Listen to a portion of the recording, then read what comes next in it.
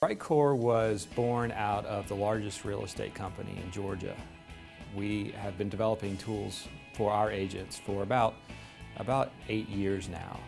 And we have decided to bring those tools together under one product umbrella and release those to other brokers throughout the U.S. There's really no, there's nothing like exactly what we're doing with Brytecore. There are systems out there that will track leads. There are system out there, systems that will uh, generate leads for agent websites. There, there are platforms that host websites, but nobody brings it together like we do. And nobody has the intelligence on the visitors. Nobody analyzes it with their custom algorithms like we do to determine it predictively what customers will do. Algorithm works really well in long-term large purchase decisions.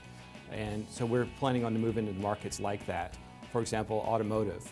It takes a long time to define the car you want, to purchase the car you want.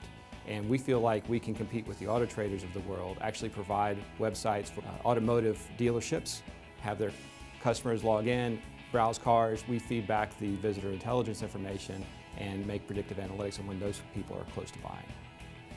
If Brytecore can increase your conversion ratio from 1% to just 2%, we'll increase a large broker's revenue by $2.6 million. If we can increase it from 2 to 3%, we'll do the same. So we feel like there's a plenty of opportunity out there to increase the conversion at the bottom of the funnel rather than add more leads at the top of the funnel.